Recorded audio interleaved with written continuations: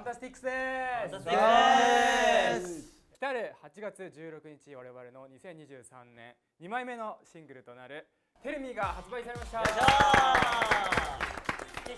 こちらはですね大人な雰囲気が漂うダンスポップサウンドなのですけども皆さんはどんなところに魅力を感じてますかねソータさん。はいそうですね。この曲はイントロから一気にこう世界観に引き込まれるような、まあ、サウンドでして、はい。そのパフォーマンスもそうだしなんかテルミって言っててこう僕たちの歌的には結構緩急をイメージして誘うようなでこう引っ込んで他のことを忘れて楽しむみたいな歌詞でもあるのでなんかこの世界観にどっぷりハマってほしいなっていう感じの曲かなって思います。レコーディングでもすごくあのさあ僕と裸みたいなマジックがすごく大人な感じで意識してあレコーディングあこっちです。あ今日ボーカルじゃないです。全然全然面白いですね。やめて。めっちゃ面白い。そのボケに対して面白いですね。MV どうですか MV 那須くん MV どうですか？MV は確かに。ファンタスティックスとしては初のちょっと映画っぽい曲こうワンロールで見てもどこを切り取っても全部がおしゃれな大人っぽい MV になったなと思っております。今日私服エロいね。ちょっと夏はやっぱ一日あれです。僕のちょっと尊敬尊敬っていうか、はい。理想の男性がいてこういうかっこしいので、えそういうのたまにジローランドさんね。振り付けは今回も世界さんあのよっ旅とかお願いします。どうですかね？あのチャッターのところは降りてきたんですけどね。そうなんかふあれ振り落としの朝作ったから。えー、朝降りてきたけど。何分ぐらいでできたんですか？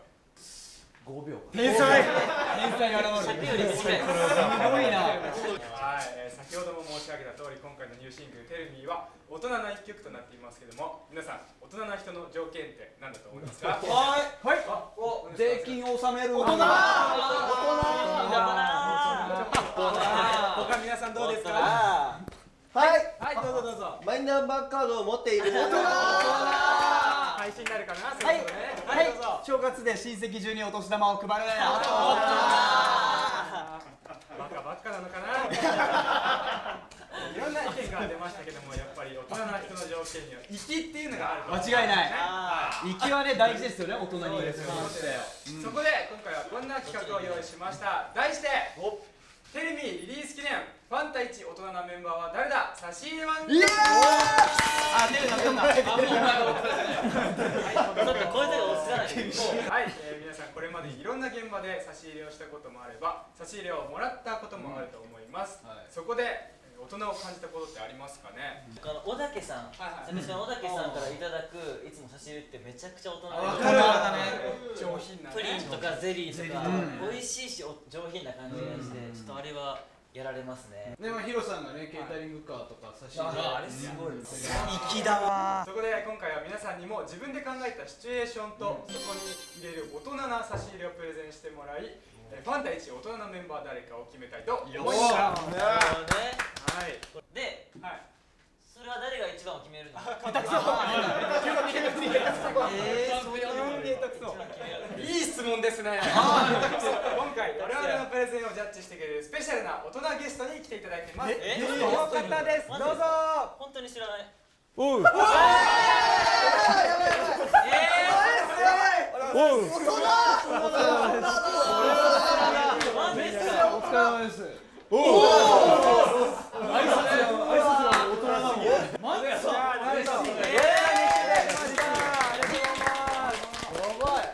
いやいやちょっとこういうのは事前にあの MC って知ってるべきです俺も一緒なっちゃうも知らなかったマジで知らない知らなかった。普通にみんなと同じテンションで立ちましたみんな立ち上がって。おはようございます。いやちなみに松さんが思う大人の条件って何だと思います大人の条件？そうだな。抱いた数。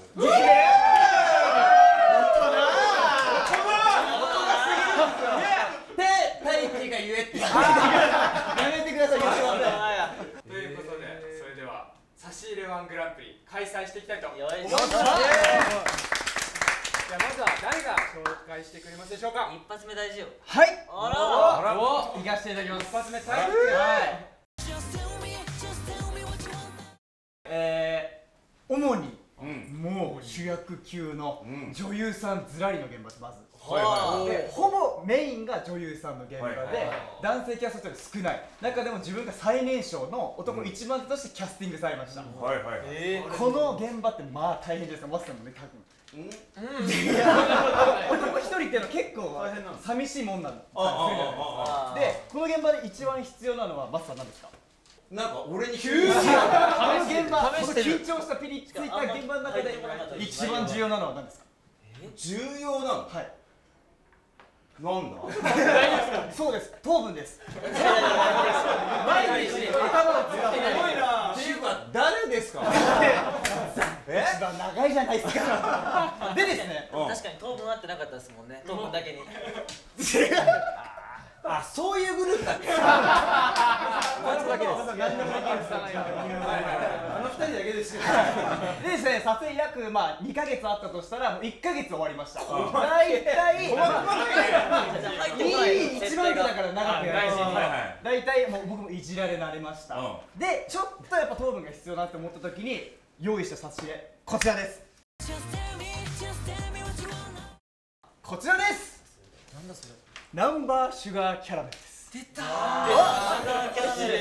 やってるわえマスさんご存知らない知らない。これは中に番号がついた細長いキャラメルが入っていて、うん。全部味が違うんですよ。へでまずこの現場に入れた時にみんながナンバーはあの味だったよとかまずキャスト同士で盛り上がる。んですなるほど。でナンバーが美味しかったとかで交換し合ったり残り1ヶ月大変な撮影が続く中、うん。このタイミングでこれを入れるのが一番いいんじゃないかということで大人の差し入れ。ですなるほど。はい。おしゃれだよね。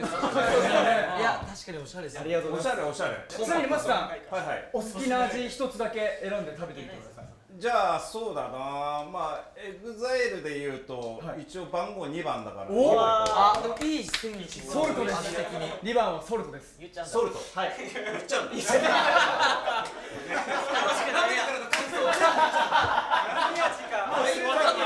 先に言っちゃうちょっとだなマイナスですよマイナス減点減点いた。だきますね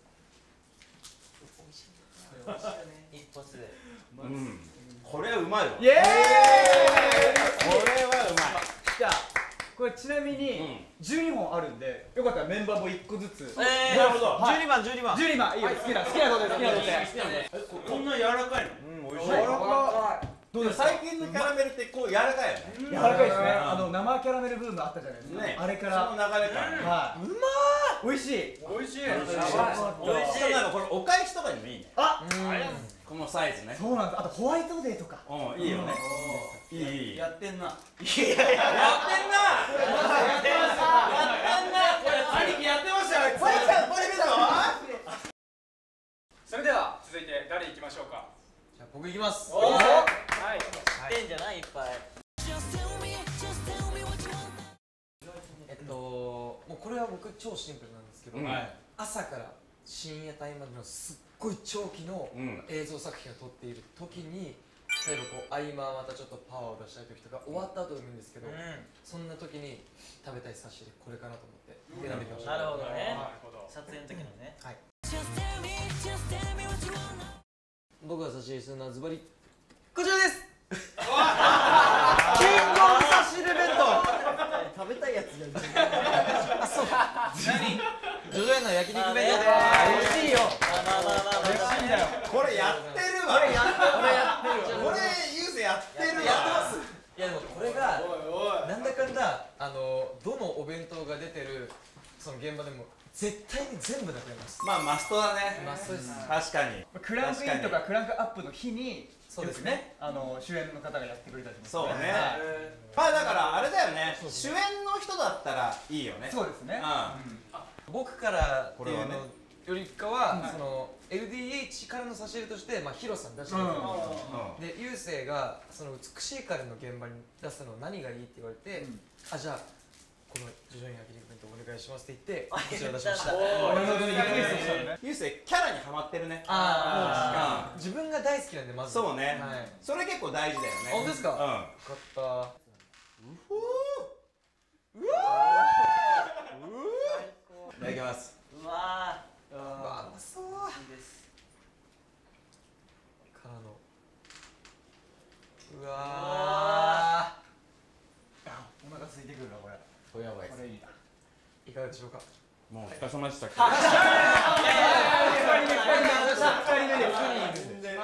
人待ってます。だってさもうこれはさもう大物です。よこれは大人っていう条件でいうと結構ハマってくる。うん。うん。確かに。レベルは高いよね。ありがとうございます。いいね。外交官職な感じですね。あ